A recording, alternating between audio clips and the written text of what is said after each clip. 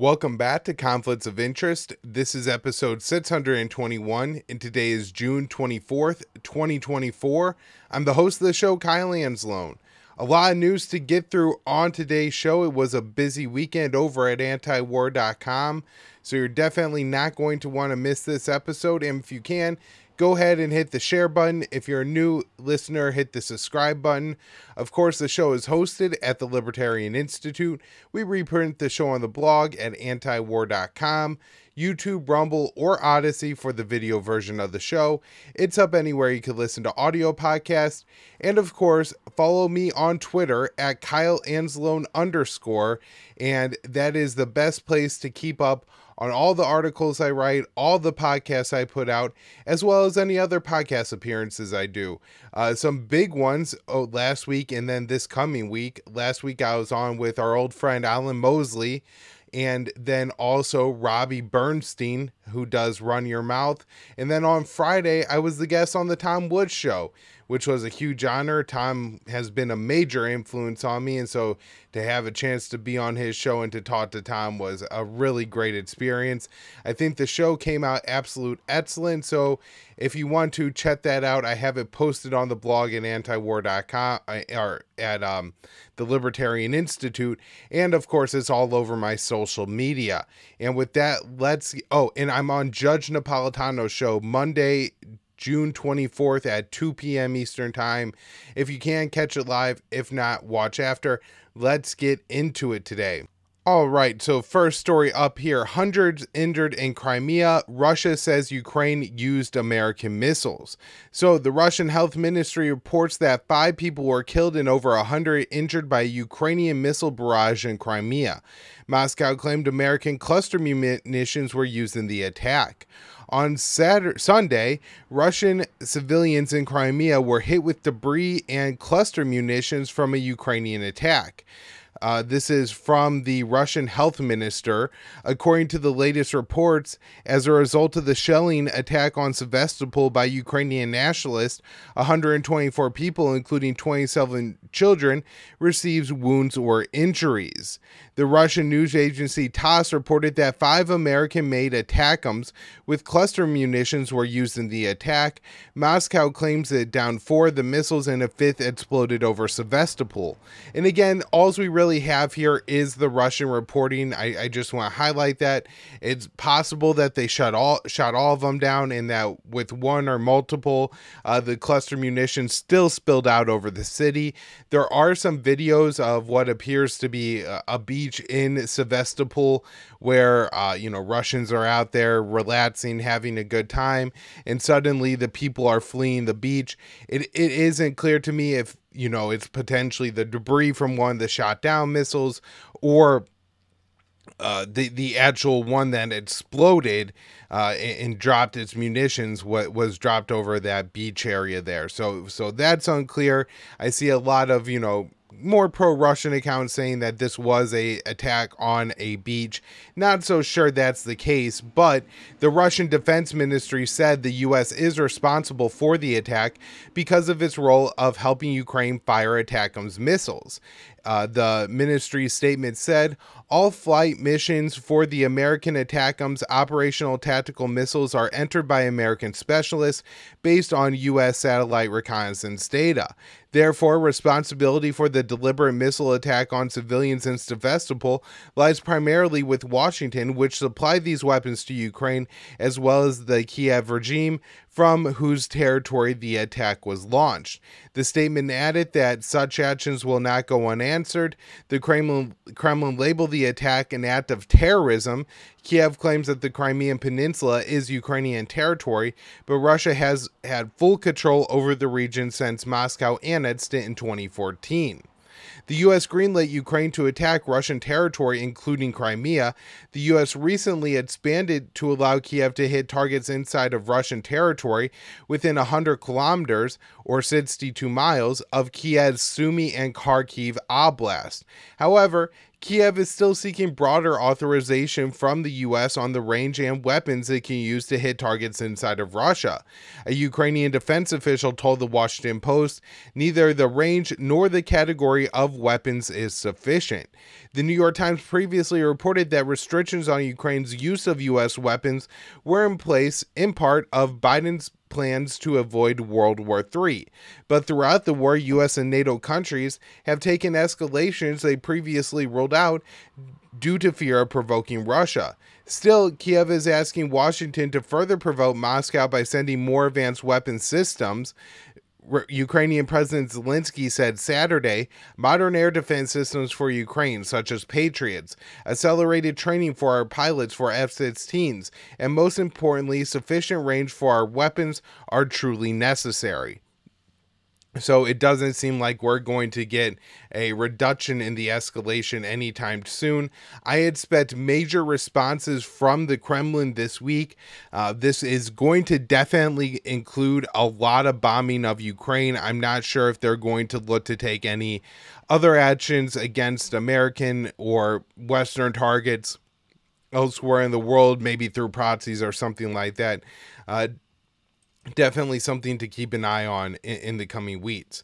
All right, next up here, this one from June 20th, antiwar.com. U.S. to give Ukraine priority access to new air defense interceptors. So the U.S. will try to surge um, missile defense weapons into Ukraine by giving Kiev priority access to new production. Washington will take Patriot and NASAMS interceptors intended for other allies and ship them to the war torn state. According to the Wall Street Journal, President Biden informed allies that their shipments of air defense munitions would be delayed as Kiev prioritized will be prioritized over the next 16 months. The outlet says that South Korea and the UAE are expected to be most impacted by the move. Now, this came around the same time that Netanyahu started complaining about Israel being restricted in the number of weapons that they were getting. So I did a little research, and Israel does not use the NASAMS system, and they do use Patriots, but they are in the process of phasing them out for other Israeli air defense systems.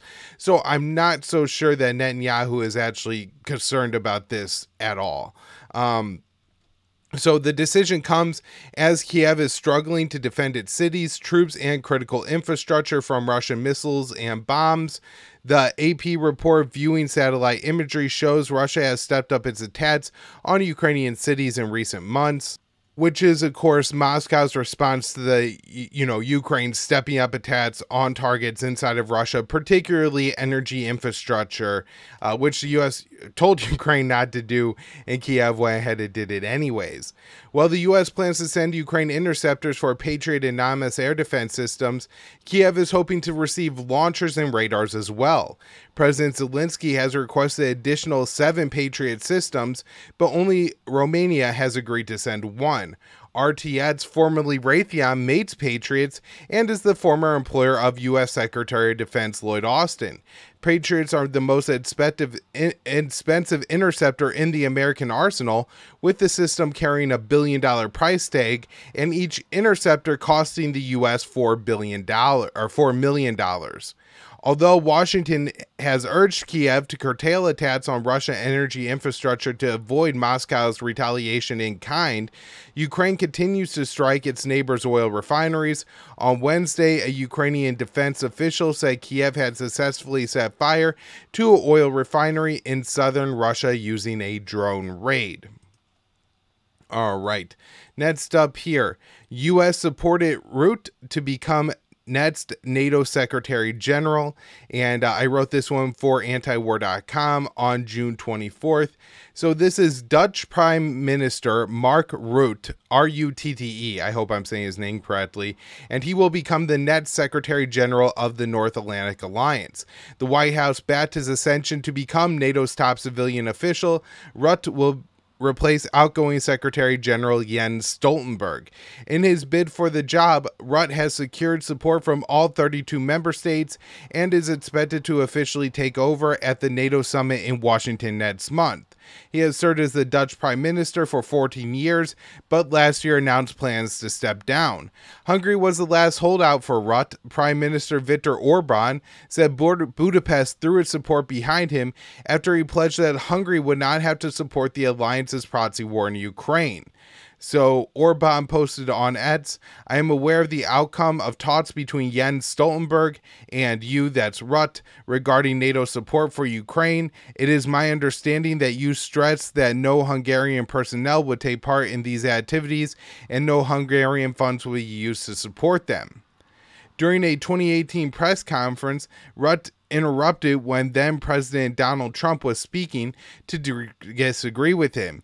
Gordon Sondland, who served as Trump's envoy to the European Union at the time, told Politico that Rutte had a history with him of pushing back when he thinks Trump is wrong, and he does it straight to his face. Sondland noted that Trump did not like Rutte despite their clashing views. This swell in support for Rutte comes in part because Western leaders believe he will be able to push towards push Trump towards continuing the proxy war in Ukraine. However, Brussels has failed to implement any concrete Trump proofing policies. Fabrice Pothier, who served as former NATO Secretary General Anders Fogh Rasmussen's policy chief, says she does not believe Rutte's appointment would be enough to stop Trump from ending the war in Ukraine. I just think skeptical that Trump proofing NATO and Trump proofing the transatlantic relationship will do the trick. Trump and some people around him won't be tricked a second time. And I thought that was a huge quote that she made there that Trump and the people around him will not be tricked a second time because what does that admit? That you tricked him the first time. And why is that important? Because the American people elected Trump, who was running on a policy of getting along better with Russia. And so if Trump was tricked by the North Atlantic Alliance, then the will of the American people was deceived and uh, circumvented by the North Atlantic Alliance. We pay billions of dollars to keep the North Atlantic Alliance afloat, and it is now being used to deceive us and to undermine the policies that the American people want and, and more on Trump in a second here. So, on the campaign trail, Trump has pledged to end fighting in Ukraine without presenting a concrete plan for doing so. When he ran as president for 2016, he discussed withdrawing from NATO and improving U.S. Russian ties, calling the bloc obsolete. However, during his term, the relationship between Moscow and Washington significantly deteriorated, and Trump began shipping weapons to Ukraine. And it's easy to blame this all on Russiagate, and that does certainly play a big role in it. When Trump tried to meet with President Putin, CNN was writing articles speculating that Vladimir Putin had hit a secret listening device in a soccer ball and was now going to be in control of Trump somehow, or that Trump had promised, uh, you know, Putin things in a closed door meeting, and that this had possibly amounted to treason that Trump would even speak with Putin. And so in that sense, there was a lot of political pressure that was completely invented by the, the liberal end of the American spectrum that did a lot of damage to the US Russian relationship. And in part because they believed their own lies when Trump was president, by the time Biden took over, they're all prepared and ginned up for a war against Russia and Ukraine. And that's certainly what happened. However, when we talk about the significant de- deterioration of the relationship uh, between Moscow and Washington, during Trump's administration, it would be a real mistake not to blame Trump for a lot of it because a lot had to do with the destruction of the INF Treaty, the Open Skies Treaty, and the economic war that Trump started and the weapons that Trump shipped to Ukraine. All those things were new policies that Trump implemented that significantly ratcheted up tensions between Russia and the West and set the stage for Biden taking office, saying that Ukraine was going to become a member of NATO NATO and provoking the Russian invasion. Trump is 100%, you know, responsible for the path that led us to the, the current place we are in in the world on the brink of World War III. So I include, include the article here. Rutte is replacing Jens Stoltenberg, who has been in the role for a decade. On Thursday, the Romanian president Klaus Iohannis, the only challenger to Rutte, dropped out of contention Two U.S. officials said Washington was pleased with Iohannis's when he cleared the way for Rutte. So that is um, pretty interesting. Next up here, Trump Farage say NATO provoked Ukraine in- invasion through expansion. So I wrote this one for antiwar.com June 23rd. Former President Donald Trump said that Ukraine's membership in the NATO alliance was a major provocation for Moscow and part of the reason the Russian President Vladimir Putin ordered the invasion of the country. Trump's remarks were echoed by Nigel Farage, a far, uh, um, not far, a right-wing populist in the UK. In an interview on the All In podcast, and one of the hosts of that is David Sacks, Trump said he was willing to take NATO expansion to Ukraine off the table. For 20 years, I heard that NATO, if Ukraine goes into NATO, it's a real problem for Russia. I've heard that for a long time, and I think that's really why the war started, he said. Trump argued that President Biden provoked the war by pledging Ukraine would join NATO. Trump additionally expressed the war in Ukraine would not have happened under his administration because he would have kept oil prices lower, and Putin has relied on high energy costs to fuel his war machine. Now, I think Trump maybe overstates a little bit about his policy of keeping the price of oil lower, but I do think that he is kind of in the realm here of something that I have talked about on this show, which is if the US really wanted to, it might actually have been possible to just isolate Russia. Now, it, it would have been difficult in 2022, but assuming the US had spent the entire period since the end of the Cold War of waging economic war against Venezuela, Iran, Iraq, Syria, Zimbabwe, Cuba, North Korea, China, you know, there's probably four or five other countries I could add to that list. Then, when we try to isolate Russia, there's not all these ready and willing partners to jump on board with, a, a, a, you know, kind of the BRICS community, an economic community in the world who's willing to work outside of the U.S. financial system. But because all of our sanctions over the years had really primed the cre- creation of this alternate world economy that once 2022 happened and we went to sanction and isolate Russia, immediately they find plenty of other trading partners because the world was primed for that. Additionally, the sanctions that Trump put on both Iran and Venezuela took a significant amount of energy, oil off the world market, and I think that also played a pretty large role in priming the the increase in, in oil prices that has allowed Putin to sell Russian oil at such a high cost and continue to do pretty well with the Russian economy. So, Nigel Farage, who is the leader of the Populist Reform UK party, expressed a similar view on the war in an interview with the BBC. He explained, I stood up in the European Parliament in 2014 and said, There will be a war in Ukraine. Why did I say that? It was obvious to me that the ever eastward expansion of NATO and the European Union was giving the main reason to say they're coming for us again and we go and to go to war. Farage added, We provoked this war, of course, is Putin's fault. He used what we've done as an excuse. His Reform UK party could potentially lead the opposition against the Labour government after UK's July election. However, Trump, who is often labeled a critic of the war in Ukraine, did endorse escalations by Americans' European partners for the proxy war. When answering a host question, the former president ple- pledged not to send American soldiers to Ukraine, but went on to say it was a different issue for France and Germany, who he says should be doing more to be involved in the conflict. Trump said, it's different for France. You know, they're neighbors more or less. We have an ocean in between us and Ukraine. The it's different for Germany, although Germany is much less involved than they should be. One of the things I think is unfair. I think it's terrible that we're probably given at least a hundred billion dollars more than Europe.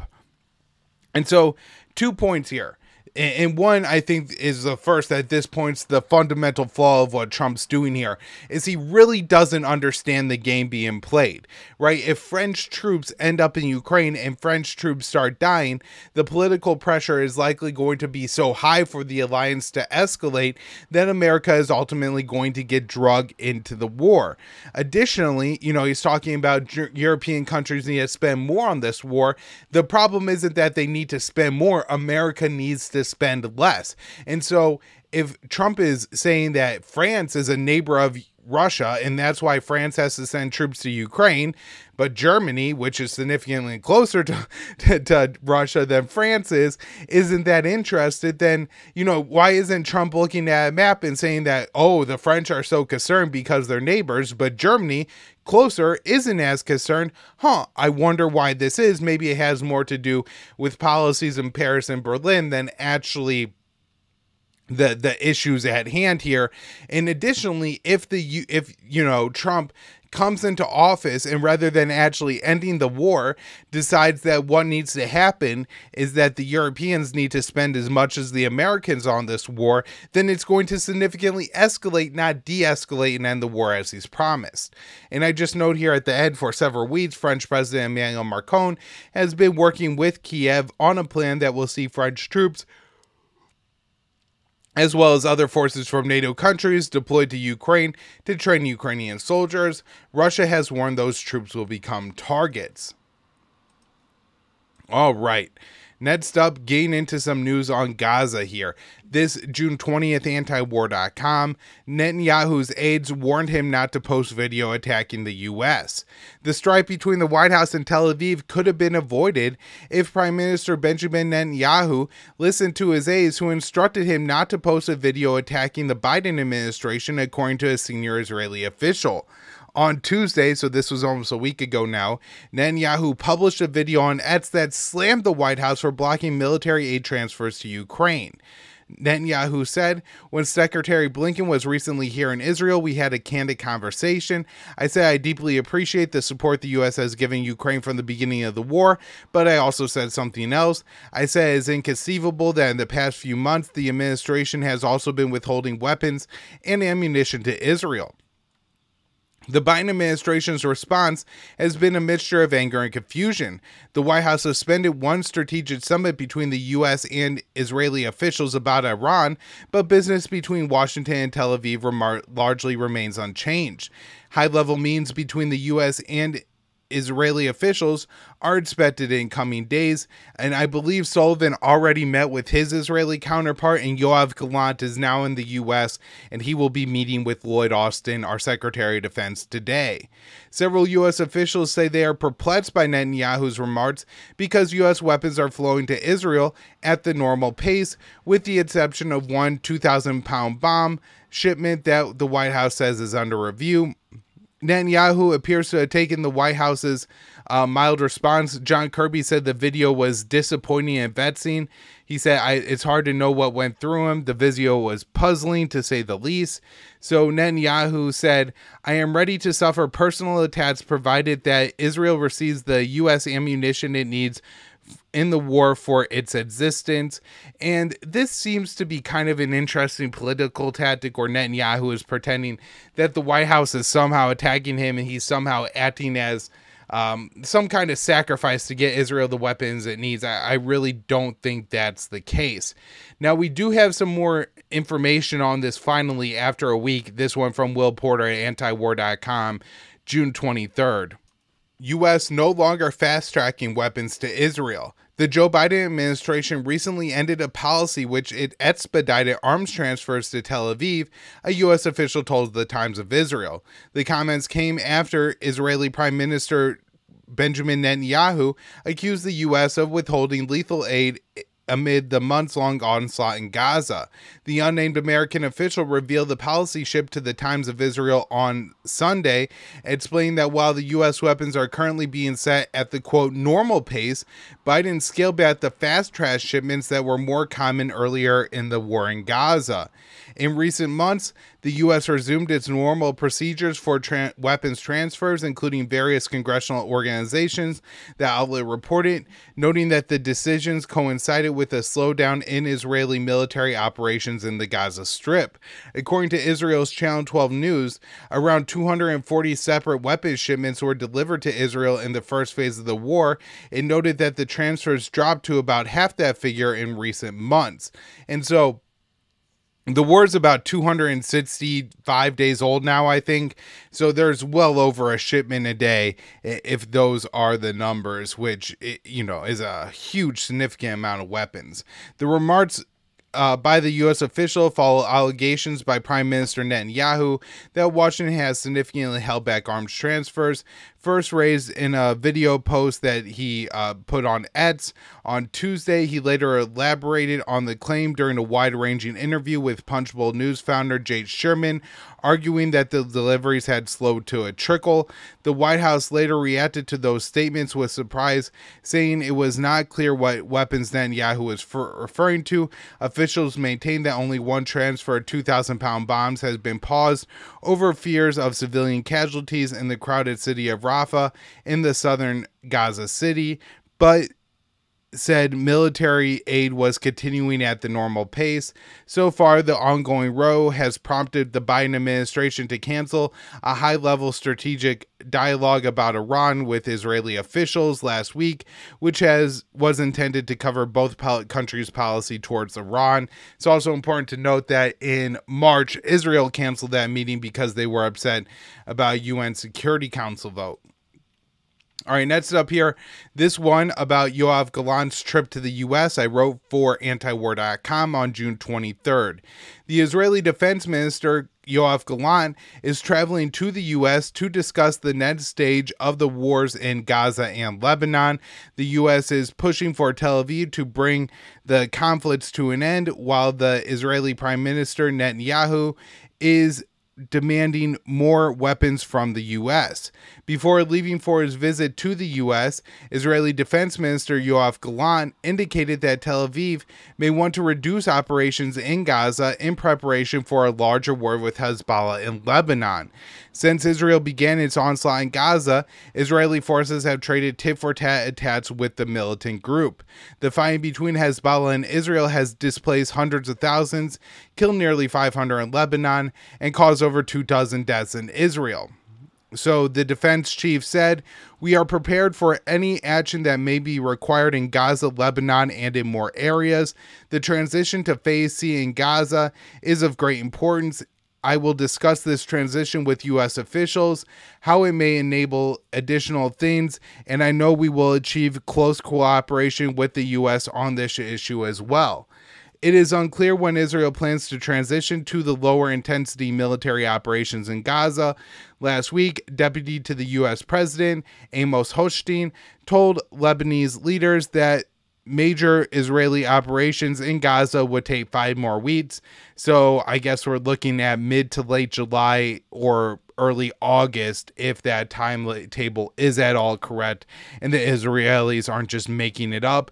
It could be that they scale down operations from 100% to 95% and claim that that's plan phase C or it could be that phase C really does involve a scale down a military out maybe they couple carry out just a couple bombing operations across the strip every day or something like that. Or again it could be major military operations. We really just don't have an idea at that point of uh, of what it means that they're going to engage in a lower intensity form of warfare in Gaza. The only thing that seems clear is that they will transfer military units out of Gaza into the northern border is unclear when Israel plans, um, uh, excuse me, the talks between Gallant and his American counterpart, Secretary of Defense Lloyd Austin, come amid a growing divide in Tel Aviv's and Washington's vision for the Middle East. The Biden administration is hoping that a ceasefire in Gaza will end the fighting along Israel's northern border as well. Meanwhile, some in Tel Aviv believe a transition to a lower scale operation in the Strip will allow Israeli forces to be relocated to the north to fight Hezbollah. The White House appears to be attempting to deter Israeli leadership from pursuing this course. On Thursday, CNN reported speaking with three Israeli U.S. officials who said the Biden administration believes Hezbollah is capable of overwhelming Tel Aviv's air defense systems. Still, Hochstein told the Lebanese prime minister that the U.S. would aid Israel's war should hostilities significantly escalate. However, Prime Minister Netanyahu continues to say he is unhappy with the supply of weapons he is receiving from the U.S. Um, Over the weekend, White House officials told top Israelis visiting the U.S. that Washington would provide Tel Aviv with security assistance should war with Hezbollah break out. Gallant's visit to the U.S. comes weeks after an international criminal court prosecutor, that's Karim Khan, requested an arrest warrant for the Israeli defense minister and prime minister for war crimes committed in Gaza. And of course, Netanyahu will be in here a couple weeks himself uh, to address Congress. All right, next up here Netanyahu Israel to scale down operations in Gaza, quote, very soon. Israeli Prime Minister Netanyahu claimed that the intense phase of the Israeli operations in Gaza will end very soon. However, he said Tel Aviv was not moving off its war footing and would redeploy its forces to the northern border to fight Hezbollah. In an interview with Israel's Channel 14 News, Netanyahu explained how Tel Aviv's plans to manage its multi front war. In regards to Gaza, he said major operations would end sometime sometime in the near future, but stressed he is not willing to end the war and leave Hamas as it is. Once operations are scaled back in Gaza, Netanyahu stated he would redeploy Israel's military forces to its northern border. After the intense phase is finished, we will have the possibility to remove part of the forces to the north, and we will do this first and foremost for defensive purposes, and secondly, bring our evacuated residents home. If we can do this, we will do this diplomatically. If not, we will do it another way, but we will bring the residents home. So, Chairman of the Joint Chiefs of Staff, General Charles Q. Brown, warned that Iran could get involved if Israel and Hezbollah engage in a major war. Tehran would be more inclined to support Hezbollah. Uh, he said, adding, particularly if they felt Hezbollah was being significantly threatened. Over the past eight months, Israel has ruthlessly bombed Gaza daily, killing more than 37,000 Palestinians. I did read this weekend that the number of dead plus missing is now over 50,000, and the number of missing is expected to be essentially a death count. Most of those bodies are dead and buried under the rubber, maybe uh, rubble. Maybe some have been held by Israel. Uh, of course, they, they may be killed in the Israeli detention facility, uh, but they may just be receiving receiving torture rather than actually being dead. Um, the IDF has dropped 70,000 tons of bombs on the strip, destroying most of the territory's civilian infrastructure while forcing nearly all Palestinians to flee their homes. The scale of the destruction has triggered a massive humanitarian crisis, with nearly 1 million people facing famine. And uh, on that now, war deprives Palestinian children of food, water, and education. A UN official recently described the Israeli onslaught in Gaza as a quote war on children as Palestinian youth go without food, education, and many other foundational needs. The spokesperson for the UN aid agency for children, that's UNICEF, and his name is James Elder, said in an interview with Democracy Now! that Israeli military operations in Gaza amount to a war on children. He said he was recently in Gaza and attempted to deliver aid to children, but their trucks were turned back at an Israeli checkpoint. He also said he witnessed an Israeli war crime during his time in Gaza. Elder explained that Palestinians were fishing from the Gaza coastline for hours before Israeli forces unexpectedly opened fire. He reported seeing two men lying wounded on the beach, and Israeli forces refused international aid workers the ability to provide medical care. Elder said he later examined the bodies and saw the men were shot in their nets and back. The situation for the Palestinian children is becoming more challenging in the heat of the Gazan summer. Elder said that dehydration is a growing issue, and the sweltering conditions add to the psychological toll on children. The physical and psychological exhaustion they face is almost impossible to capture, the UNICEF spokesperson said. I've seen videos of, of this, and this is something um, from my time working in a therapy school. I have seen children who have suffered severe trauma and were um, I don't want to say actively suicidal, but were you know in the in the process of considering suicide and um, just you know how damaging and the kind of what would seem to be strange things that they do, but you know really are their their attempts to express the the the, the suffering they feel. And so i've seen videos of palestinian children uh, burying themselves in, in like sand on the beach and you know not as a fun and game but to say you know they, they want to see what it feels like when they're going to be buried beneath the ground or what it would feel like if their their house of rubble collapsed on top of them. Um, there was another UN official, or not a UN official, this was actually a reporter for CNN who talked to some parents across the Gaza Strip. And uh, he, he, she uh, talked to one mother who had a, a young seven year old. And that seven year old told, told, you know, his mother and the reporter that basically he has nightmares of seeing his beheaded little sister's body. And um you, you know he just wakes up screaming and terrified all the time. I, I mean the the terror in the what's going on with these children how you know they just talk about wanting to die and how it would be better to die at this point is is really heartbreaking to see and um you know it's because not only of the war not only the bombing but of course i'm sure the lack of food water and nutrition is impacting the kids not only like uh, cognitive development, but also cognitive functioning abilities in the present moment as well. And you making it harder to, to process what's going on around them but also just the constant lack of food nutrition education anything that would resemble a normal life right? Kids don't wake up every day and go to school and guys that they wake up every day they look for food they look for water they look for shelter they're forced to be displaced again.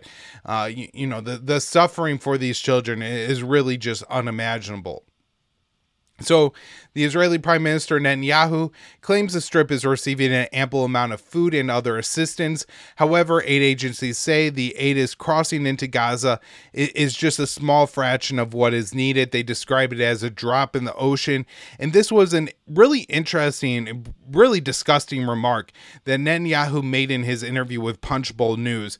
But it seems to be a larger piece of propaganda that Israel and their supporters in America are, are trying to put out, and that is Israel is letting in enough food in Gaza. There's not a real famine in Gaza. This is all just manufactured, and the, the people of Gaza are really doing fine. And to the extent that there is problems with food, water, etc., it's really all the fault of Hamas.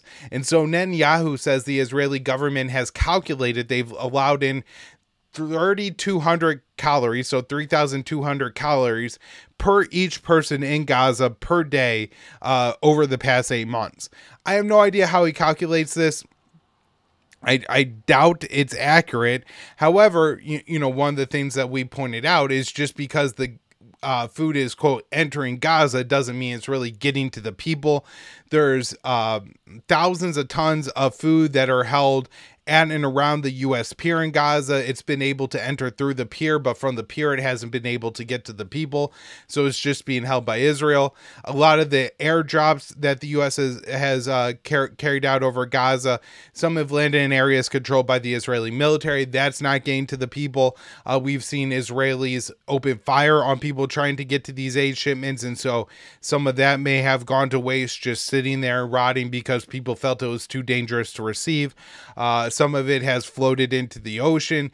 Israel has shelled not only the aid convoys themselves, but also warehouses and things like that. So that's destroyed a lot of the aid. And additionally, I think there's been hundreds, maybe, of trucks that have now entered Gaza and South Gaza in the recent weeks, but it's really only crossed the border crossing and it hasn't been able to transit transit into where the the Palestinian people in Gaza actually are because of the Israeli fighting on the ground. They can't establish safe routes and everything like that. And the reason I thought Netanyahu's calorie comment was so interesting is because there is a comment about Gaza in general that that the Israelis uh, have kind of relied on for some time, and they called it putting the Palestinians on a diet. I believe this was released by WikiLeaks, and they said that they actually count the calories of what is getting into the people of Gaza, and they try to keep the number just above a starvation level because they don't want uh, people to see video of kids starving to death because then people would demand more aid under Gaza, but they also don't want the Palestinians well off, and so they they keep them what they call on a diet, just uh, very disgusting. So Additionally, the chaos on the ground in Gaza makes it difficult to move aid throughout the strip, even if it makes it inside the border. The Israeli Defense Forces said they opened an aid route in the southern half of the Gaza Strip where shipments are piling up. The groups responsible for distributing the aid say the Israeli military in operations in Rafah have made it too difficult and dangerous to operate. The lack of food and fighting has led to st- the starvation of at least five children so far in June. Human rights groups and the UN predict that 1 million Gazans are already or near a state of famine. And when we say that the five children that have starved to death, that's what's been documented. In Rafah, there were 3,200 children that were receiving uh, these daily ultra nutrition supplements because they were either acute or severely malnourished or moderate or severe malnourishment was the state there. And you can't just you know start eating a little bit of peanut butter then you have to eat uh, kind of specific nutrients and, and go through like a, a phase to get your body what what it needs. And without that care some of these children may also be starving to death and they just may not be counted because their parents have been displaced and, and there's no hospital or anywhere for them to even like really bring their child's body to at this point. So this is uh this is from the FEWS Network, the Famine Early Warning Systems Network. It's a U.S. based uh, agency. Regardless of whether or not of famine, IPC 5 thresholds have been definitively reached and exceeded, people are dying of hunger related causes across Gaza. Acute malnutrition among children is extremely high, and this will result in irreversible psychological impacts. Beyond food, Gaza's children are in desperate need of clean water. The UN Human Rights Office assesses that two thirds of Gaza's water and sanitation systems have been destroyed.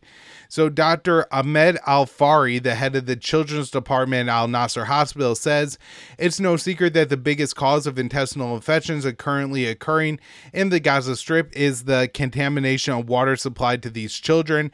The first problem is intestinal infections with vomiting and diarrhea, which causes dehydration. The second problem is hepatitis C or A, which there are are no less dangerous than intestinal infections, if not more so. The children in Gaza have gone without education and a severe lack of medical care over the past eight months. 69% of Gaza schools have been damaged or destroyed, and its hospitals have seen their beds for patients shrink by 70%. All right, Couple quick stories on October 7th here to wrap up with the first one from Will Porter. Israel's top court suspends October 7th probe. And so there's two probes here, or multiple probes going on in Israel. You had one that was organized that the IDF did not support, and the Israeli High Court shut this one down. Now you have a second probe that's being conducted by the IDF, the Israeli Defense Forces, and I covered that one in this article for antiwar.com. IDF report found multiple cases of friendly fire deaths on October 7th. A review by the Israeli Defense Forces set to be released this summer will conclude that Israeli soldiers killed many of their own people on October 7th. Israeli media reported. The inquiry is expected to identify multiple failures of the IDF during the Hamas rampage in southern Israel. According to Israel's Channel 12 News, the IDF is report is scheduled to be released mid July and found many casualties due to our forces firing on our forces. Tel Aviv has been accused of ordering its soldiers to kill hostages rather than allow Hamas to use them in negotiations, a policy known as the Hannibal Directive. The IDF October 7th review appears to point to incompetence rather than intentional killing of its own civilians. However, Israel's Ynet investigation of the IDF conduct found Tel Aviv had ordered troops to follow the Hannibal policy. Still, the conclusions from the forthcoming report will amount to an official admission that scores, if not more, of Israelis were killed by the IDF soldiers and not Hamas on October 7th. On that day, Hamas launched a large scale assault on southern Israel that killed hundreds of attackers, 776 Israeli civilians, and 776 members of the Israeli security forces. The Jerusalem Post recently reported that many of the Israeli deaths were caused by IDF overreactions or inaction. So this is from J Post. According to the report, the probe will find numerous cases of friendly fire errors leading to tragic deaths, groups of IDF soldiers who were too hesitant to confront Hamas invaders as others rushed to fight without formally being summoned. Higher up commanders ordering some groups of soldiers to remain in reserve second line capacity when they should have been headed to the front, and not knowing how to handle complex battlefield questions involving a hostage. And so, again, you know, this is really trying to point to incompetence and not intentional issuing of the Hannibal directive. Uh, we will see once this report comes out the, the real details and we'll go through it at that time. So while Tel Aviv has denied that the Hannibal directive was put into effect and it is no longer used, evidence has emerged of Israeli forces firing on homes, knowing civilians were inside. One incident at Kibbutz Be'eri killed 12 Israeli civilians. There are multiple probes investigating the IDF's actions on October 7th. The one Israeli government led inquiry was shut down by the country's top court this week amid objections from the IDF and numerous senior officials. Oh, I do have one more article here. Very important one. Sorry to save it for the end. Report Israeli officials say no movement in Hamas talks. This one from Will Porter, antiwar.com. Negotiations to end Israel's month long war in Gaza have all but reached a standstill, and still unnamed senior Israeli official told a lo- local media outlet. The comments came after Hamas's political le- leadership expressed a desire to continue dialogue.